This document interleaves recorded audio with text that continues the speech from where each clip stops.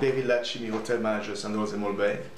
And uh, Geoffrey, thank you so much for uh, you know uh, uh, delivering this this uh, fantastic course that um, I was very very fortunate to to attend to, um, and I can testify with my colleague here, Cassie, who's our training and development manager.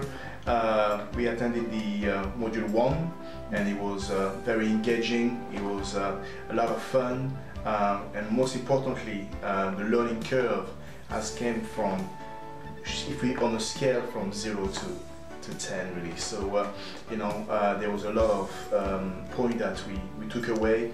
And certainly I'm sure that the module 2 and 3 would have had you know even more impact on the team most importantly.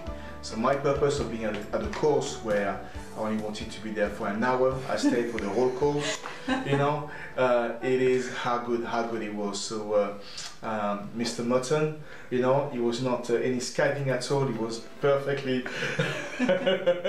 no skiving at all. It was a, a good learning curve. So thank you so much.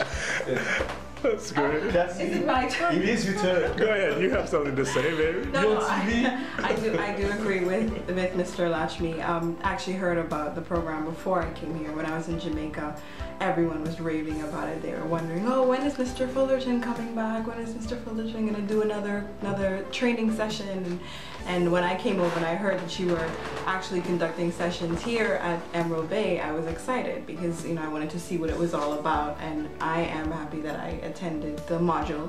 I wish I could have attended all of them, but um, I definitely can see a change with our team members. Sure. Even leaving the first module, they were they were different, slightly, but definitely different. Talking about the course, Yeah. absolutely. So really all we're asking is uh, by the end of the year, uh, Dr. Brown, Vipul, uh, Theo, Mr. Duffus, you know, we would like uh, Mr. Fullerton to be back at St. In Mulbay and to do part four, you know, absolutely. Thank you.